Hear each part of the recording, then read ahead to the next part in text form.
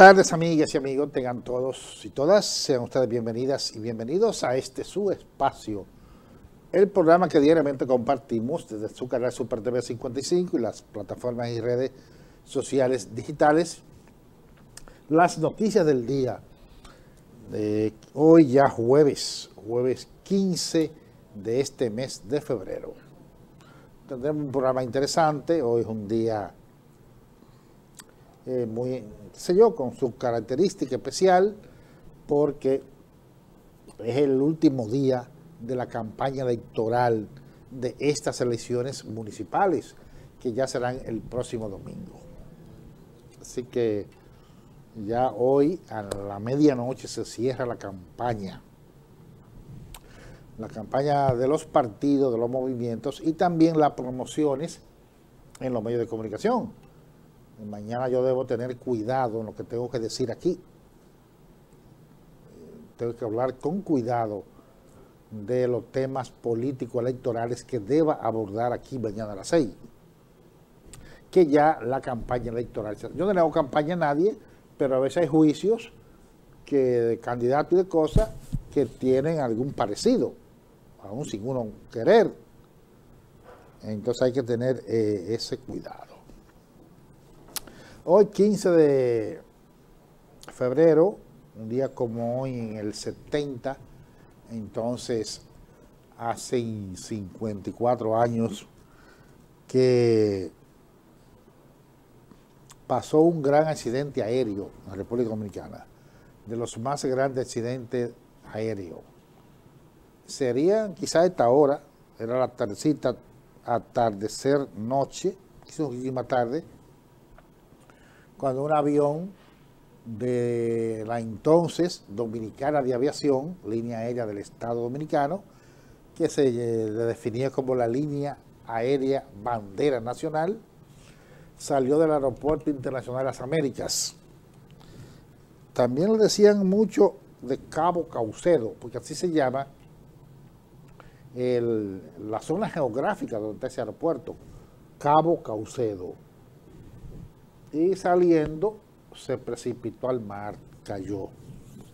Una gran cantidad de personas murieron, tanto dominicanas como puertorriqueñas, iba hacia Puerto Rico y fue una tragedia de mucha magnitud para ambos pueblos.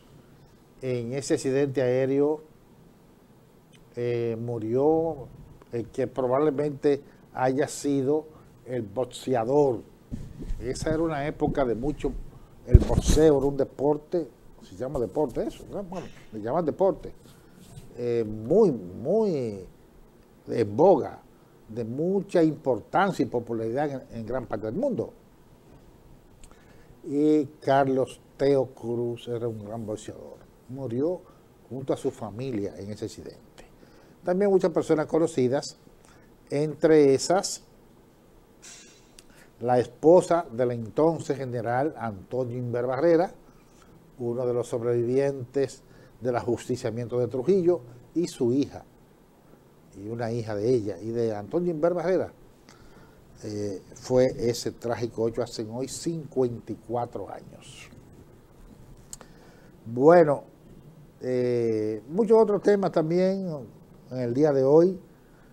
Un día como hoy en Colombia cae en combate el padre Camilo Torres, un sacerdote católico que eh, asumió la lucha armada, la lucha guerrillera para los cambios políticos y sociales en Colombia, 1966, hace 58 años, que su ejemplo fue seguido por muchos cristianos progresista, gente de izquierda en aquella época, incluyendo nuestro país, impactó en un sector importante de la juventud. Y, se le, y, surgió movimiento revolucionario Camilo Torres, los camilistas, Corecato, Comité Revolucionarios Camilo Torres, los Corecatos bueno, que tengo muchos amigos que todavía fueron de, ese partido, ese movimiento, mucha gente, ya, por supuesto, algunos han partido de este mundo y otros todavía andan por ahí, que fueron de los corecatos. Y las organizaciones de izquierda que luego se, se derivaron de ese movimiento. En el día de hoy, como dije, es el último día de la campaña electoral. Inclusive este canal, allá a partir de las 7, va a tener transmisión, claro, como espacio pagado, de partidos políticos en su eh, cierre de campaña, en su labor de cierre de campaña. Eh, y habrán del aspecto local y del aspecto nacional. Según los informes, a las 10 de esta noche va a hablar el país, al país el presidente eh, Luis Abinader en una locución al país. Quisiera sí, no tengo pero va a hablar el presidente de la República, entiendo que sí, o el candidato a la presidencia a la República a la reelección del PRM. Tengo entendido que quien va a hablar es el presidente de la República. Si es así, tiene que cuidarse de usar el discurso como jefe del Estado y que todos los canales y radio tienen obligatoriamente que enlazarse cuando habla el presidente, tiene que cuidar el discurso y no hacerlo político partidario. Ahora, si hay que va a hablar el candidato de la presidencia del PRM y de otros partidos y va a promover a su partido, a su, a su gente, para las elecciones de domingo, ya es otra cosa. Ahí no tendrían que enlazarse todo el mundo, obligatoriamente. Y ahí él no tiene que cuidarse. Él es un dirigente político en la lucha política. Pero hay que definir las cosas. No estamos en los tiempos de Balaguer. Balaguer no tenía frontera entre el eterno aspirante, el eterno candidato a la religión y el jefe del Estado. No había frontera no respetaba las leyes, las reglas, las instituciones, ni nada. Bueno, que no respetaba nada, que era un dictador. Entonces, pero ya no estamos en esos tiempos y, y deben cuidar las situaciones. Por eso vimos a Balaguer el 27 de febrero de 78, cuando iba por la reelección, que ese año la perdió, de Antonio Guzmán, PRD, que el 27 de febrero, que el día que el presidente tiene que rendirle cuenta al país en la Asamblea Nacional, lo cogió para un mitin político de su religión. Y lo que se puso fue a criticar a la oposición, al PRD, a su candidato, al, a su líder, el doctor Peña Gómez. Y llegó un momento que nos sorprendimos quienes escuchábamos la locución del presidente en su rendición de cuenta al Congreso, a la Asamblea Nacional y al país.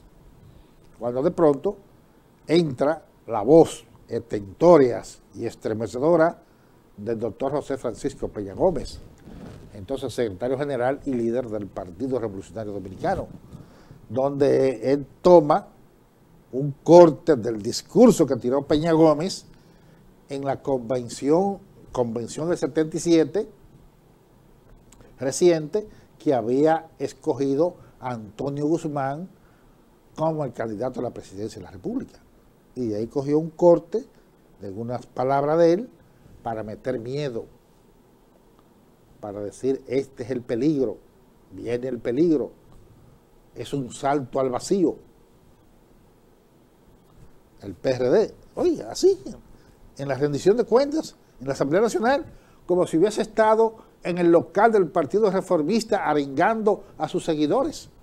Ah, entonces por eso digo que es bueno definir en qué condición hablará el presidente de la República hoy. Es siempre el presidente, ¿verdad?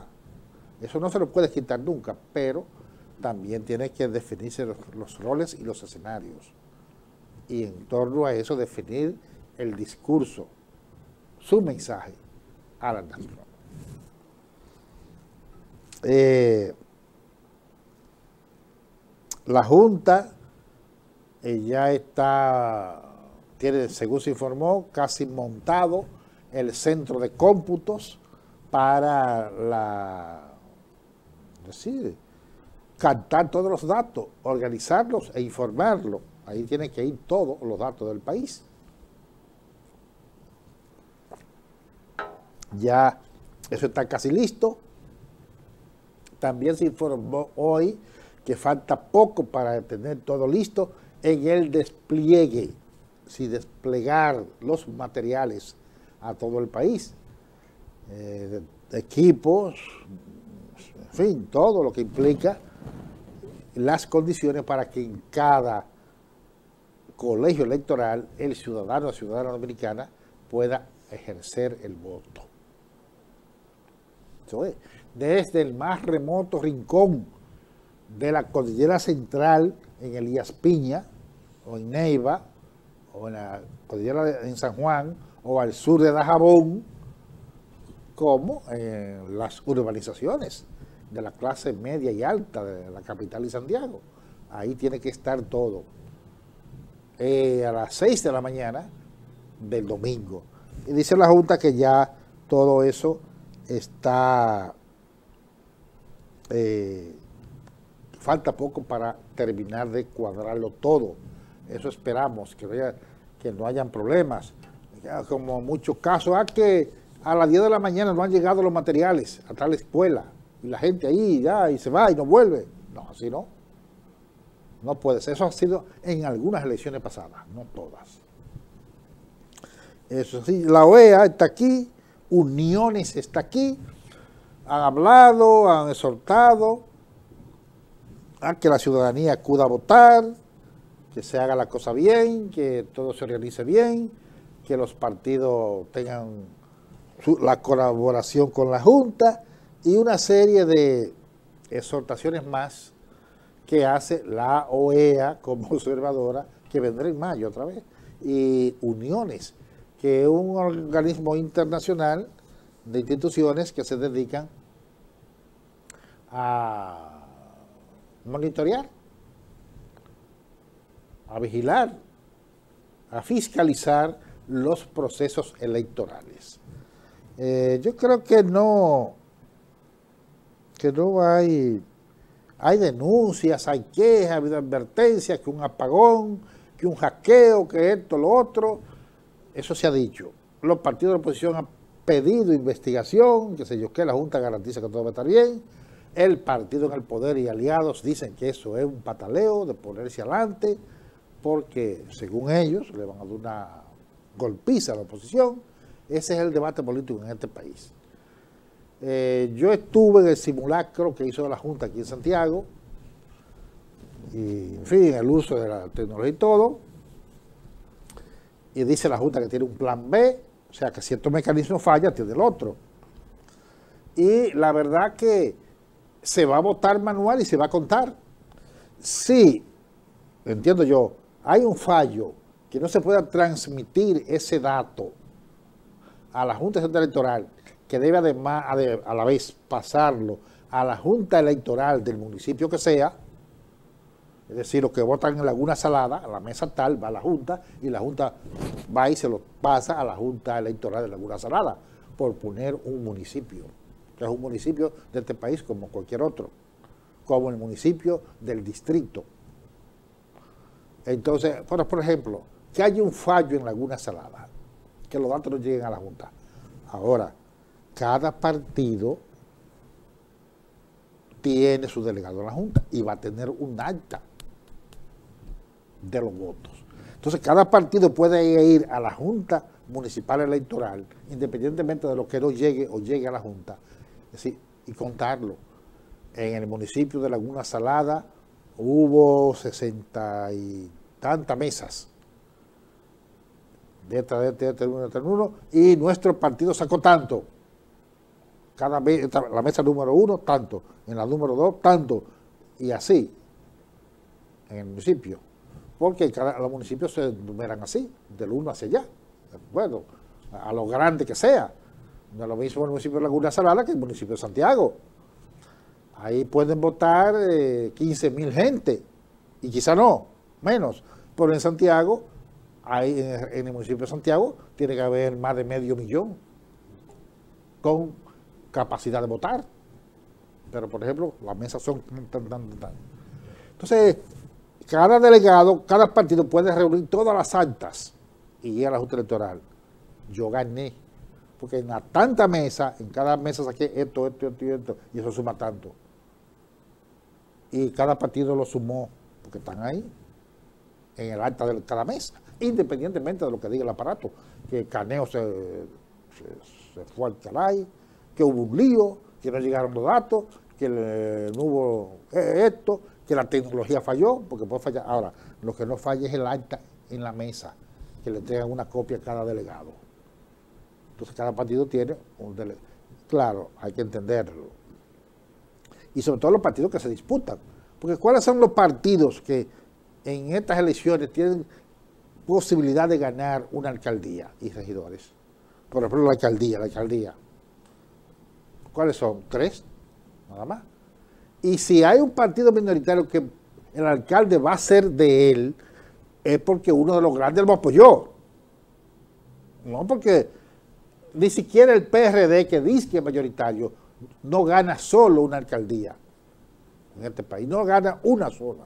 Él ganará alcalde del PRD porque lo va a apoyar el PLD, el rescate, qué sé yo qué, porque lo va a apoyar eh, eh, Fuerza el Pueblo.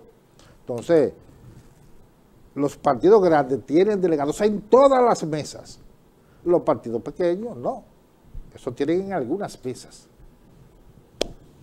Porque no es verdad, por ejemplo, que el partido de Eduardo Estrella, ni el partido de Minú, ni el partido de Sojilla, ni menos, ni el partido de Los Vinchos, ni Alianza País, que es de lo más grande de los pequeños, por ejemplo, en Laguna Salada va a tener delegados en todas las mesas. Es verdad.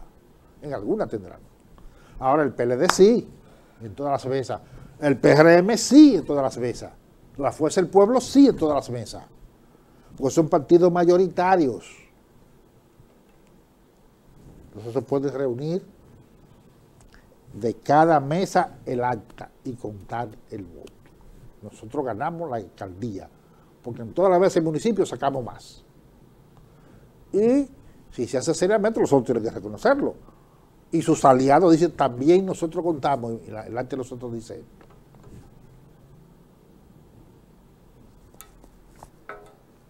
Además que la Junta tiene que reconocerlo, porque la Junta sabe que esa acta salió de cada mesa electoral, que su representante allí, presidente de esa mesa, es representante de la Junta Electoral del municipio, y él fue que firmó y validó que en esa mesa los votos fueron tanto para tal partido, tanto para tal partido y tanto para tal partido. Y de ahí salió eso, firmado por todos. Ay, no. O sea que yo creo que no hay muchas razones para tener miedo a un lío como de hace cuatro años. Que hubo que suspender las elecciones. No, porque ahí se votaba electrónicamente en muchos municipios. Ahora no se va a votar electrónicamente en ningún municipio. Es a mano, el voto entre la urna y el sobre, como cuando Concho Primo hace más de un siglo. Señor director, vamos a nuestro primer contacto con la publicidad. Adelante.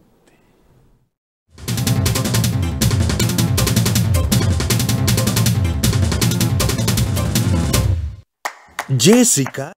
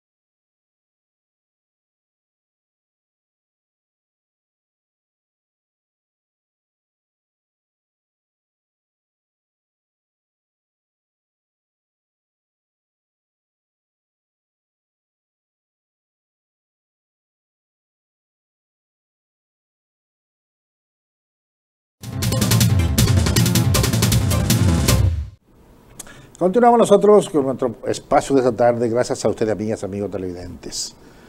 Hoy se recuerda, se conmemora el tercer aniversario de la muerte de ese gran artista dominicano, Johnny Pacheco, de Santiago, de Los Pepines, de Los Pepines.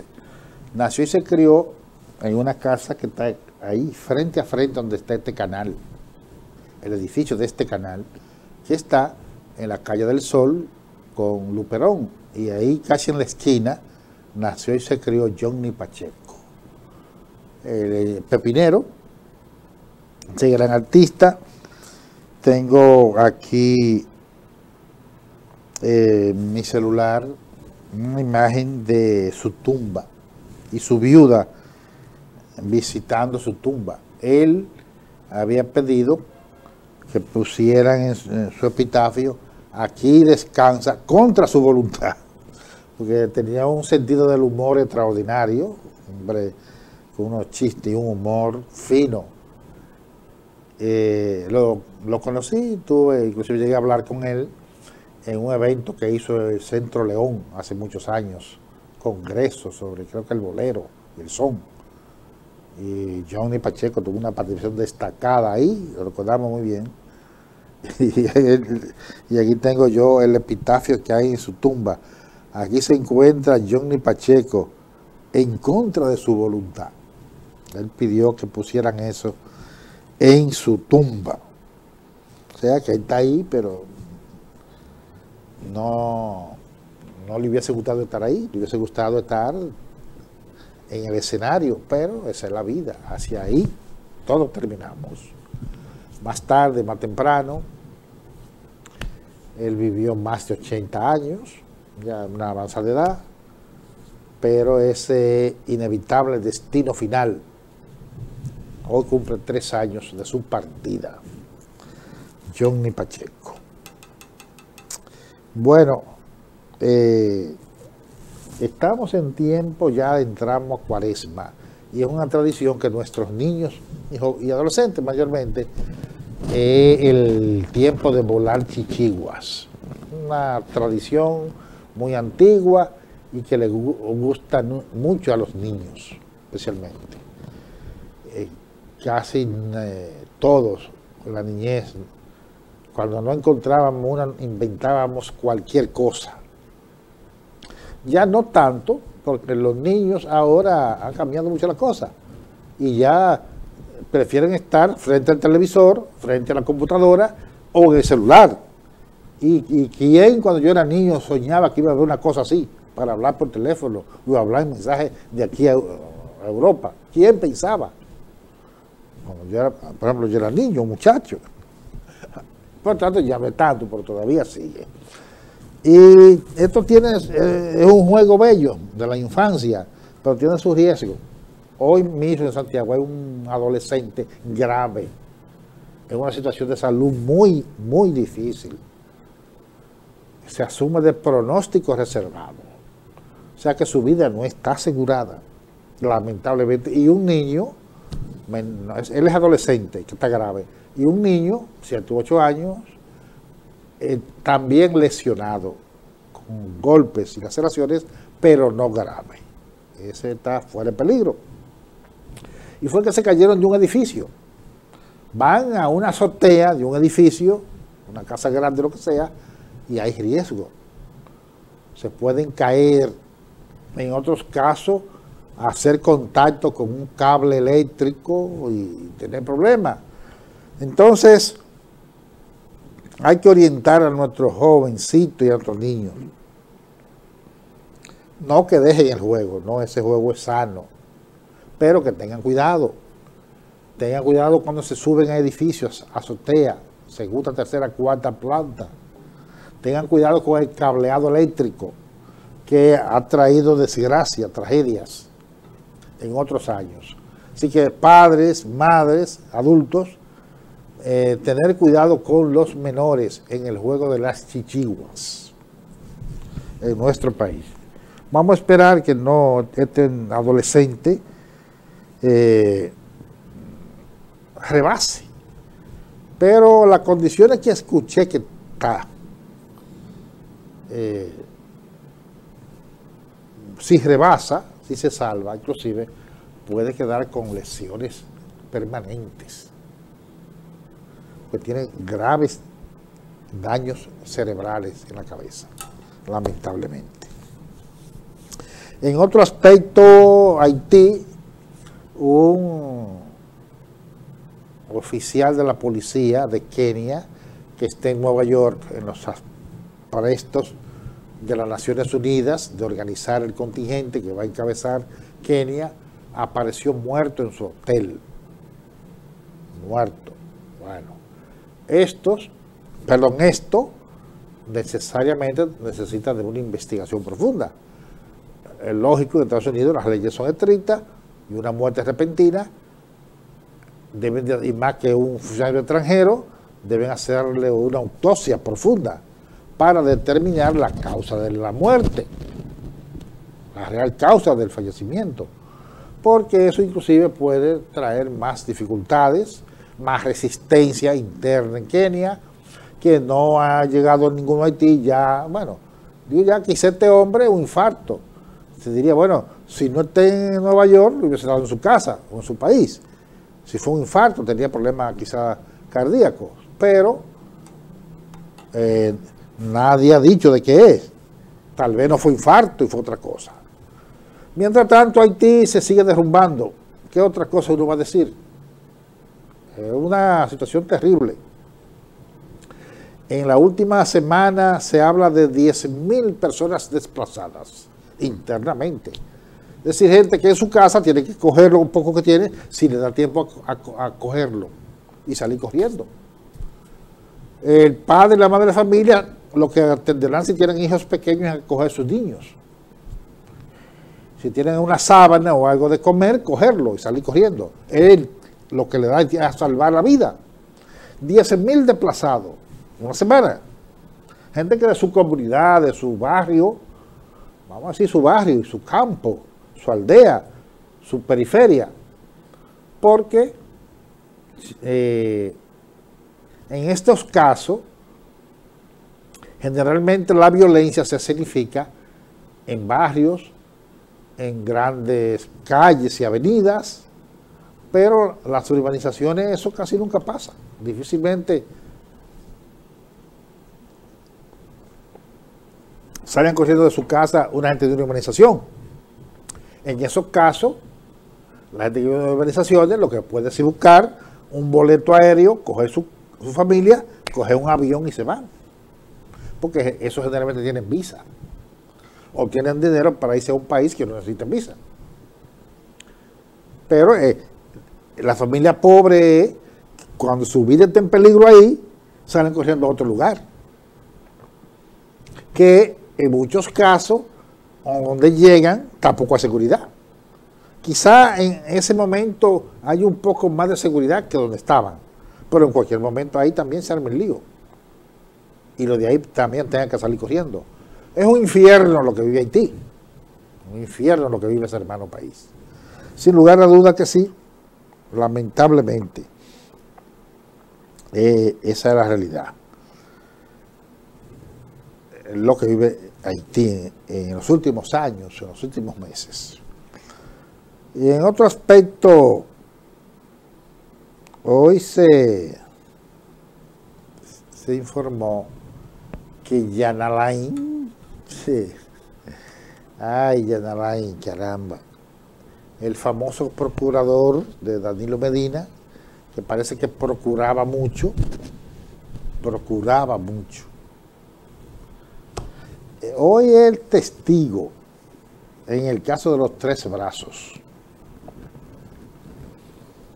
Aquel famoso caso que no, no es de estos casos últimos de este gobierno, los últimos tres años, sino que eso comenzó inclusive en el gobierno anterior. Y recordemos que aquel famoso caso terrible del barrio que vendieron con la gente adentro, los tres brazos que gracias a muchas instituciones, periodistas, de los mismos periodistas que en la capital participaron en la Marcha Verde, antes de la Marcha Verde fue eso, y que denunciaron y se movilizaron para desmontar esa estafa vulgar, que fueron también muchos periodistas que lucharon para el rescate total de la tierra de Bahía de las Águilas y su entorno, que se la robaron y hubo unos procesos y se querían devolver a media, una parte a media, pero hubo una denuncia y unas movilizaciones de muchos mismos periodistas que hubo que rescatarla toda, ese patrimonio del pueblo dominicano, que era zona protegida, y esas cosas de Bahía de las Águilas, pedernales, bueno. Entonces, ese proceso está en marcha, los tres brazos de los estafadores, o por lo menos una parte, porque aquí en esos grandes robos siempre hay algunos que se escapan, que se salen del radar y se salen con la suya, pero por lo menos en grupo. Y Yadal ahí, ahí es testigo. Él no está acusado. Ahí es testigo de ese hecho. Vamos a esperar que aunque sea parcialmente, en parte se haga justicia. Se eh, hayan sentencia de fondo, porque ya en este país la verdad que estamos hartos de impunidad, hartos de los ladrones, de las cosas públicas, de, de los que despredan el erario público, el patrimonio público, y la mayoría de las veces se salen con la suya y no hay justicia. Vamos a esperar que en este caso haya justicia. Señor director, volvamos nuevamente a un contacto con la publicidad. Adelante.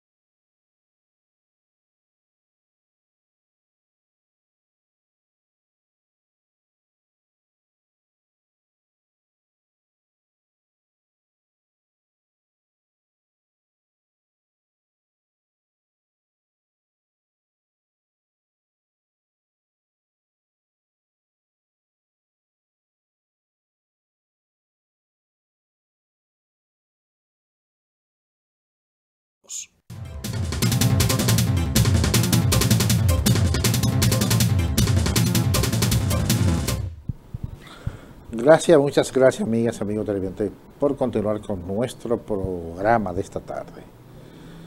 La verdad que será por los trabajos que se están haciendo, del monorriel, del teleférico, pero el tránsito en Santiago eh, en determinadas horas del día sigue siendo un dolor de cabeza. Sigue siendo, no sé, aunque, por ejemplo, yo veo que en la avenida de Sadalá, por ahí no se está haciendo nada. Y ahí se dan unos entaponamientos fuertes. A veces usted va a las 8 de la mañana y usted ve el elevado que pasa frente al Huacalito y hay una fila entera el elevado y llega hasta la H, allá, a la avenida que va para el Gurabo, y de ahí va ese tablazo de vehículos. Por ahí no se está haciendo nada. Bueno, se dirá es que muchos se desvían por ahí porque no se está haciendo nada precisamente, para no pasar por las carreras o por otras vías que están trabajando. Es posible. Pero la verdad que estamos envueltos en una situación caótica, caótica. Los candidatos a la alcaldía prometen eh, asumir, asumir eh, labores para el tránsito vehicular, pero a mí no me convencen mucho. Eh, calles estrechas, la misma avenida, que son más amplias, más modernas, más recientes, porque ahí en la calle céntrica tienen siglos, cuando eran burros y coches, bueno, bien. Pero las avenidas, el tiempo de muchos vehículos. Pero aún estas ya son... Aquí no hay avenida en Santiago de seis carriles. No hay, ni, mucho menos de ocho. lo que más puede aparecer es de cuatro carriles. Y pocas son así. Y bueno, no sé qué es lo que vamos a hacer. Por más que prometan eh, Víctor Fadul y Ulises Rodríguez encarar el tránsito, yo no me hago ilusiones. Salvo que cuando entren, en operaciones, el monorriel, el teleférico, eso pueda contribuir porque muchos vehículos van a salir del escenario, es verdad. Muchos vehículos ya no van a estar en el medio, porque eso va a sacar muchos carros del concho del escenario. Pero no solamente del concho, sino que en muchos casos, por ejemplo, si yo estoy en la zona oeste y un monorriel viene centro de la ciudad y es barato y moderno, yo puedo prescindir muchas veces, yo que tenga mi vehículo, y lo dejo ahí y voy en él. Se habla que van a poner rutas alternas, como pivotes, de abatecer y de coger lo que se traigan y de lo que lleven ahí para que se monten, de autobuses. Eso también puede contribuir a sacar vehículos de circulación. Solo así, y con alguna medida de señalización, de algunas vías que se puedan un poco ampliar, mejorar la presencia de los agentes de IGC, tal vez se puede aliviar un poco. Pero la verdad que yo soy poco optimista cuando oigo los discursos para mejorar el tránsito vial en Santiago lo harán con buenas intenciones, pero me parece que es un poco la, propaganda política. Y no porque ellos no tengan buenas intenciones, no porque quiero decir que ellos son demagogos, no. Es una realidad.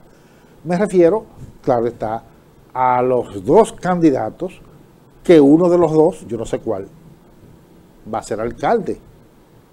Va a sustituir a Abel Martínez a partir del 24 de abril. Uno de los dos, ¿eh? O Víctor Fadul o Ulises Rodríguez. Ya eso lo sabremos el lunes. Bueno, el domingo en la noche ya lo vamos a saber. ¿Cuál de los dos? Eh, bueno, Venezuela echó al Consejo de Derechos Humanos de la ONU. Bueno, le vendrán mucho más críticas al gobierno de Venezuela, porque fuera, para afuera que van eh, de Venezuela. Un grupo de embajadores, de, aquí en el país, de otros países que están aquí, eh, hablan de que van a promover y ayudar para que se declare el casabe patrimonio cultural de la humanidad.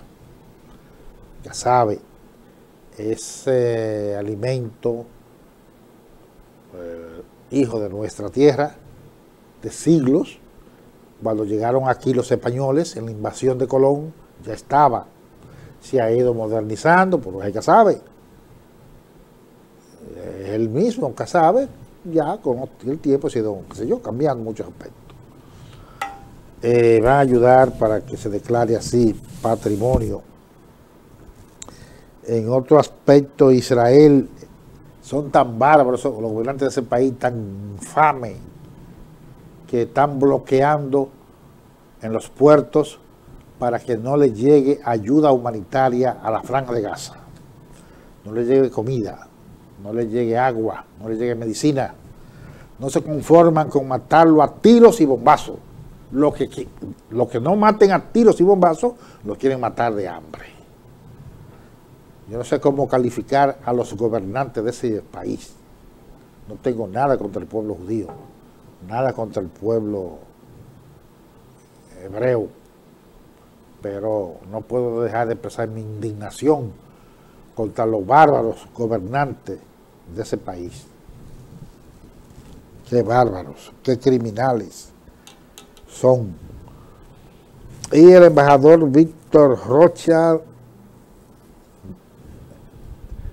niega que sea un espía al servicio del gobierno cubano, como le acusa a Estados Unidos. Bueno, hemos llegado al final de nuestro espacio de la tarde. Yo le agradezco a ustedes que nos hayan acompañado, como cada día. Y les invito para mañana, cuando sean las seis, que nuevamente volvamos a encontrarnos en otro espacio, las noticias del día. Hasta mañana.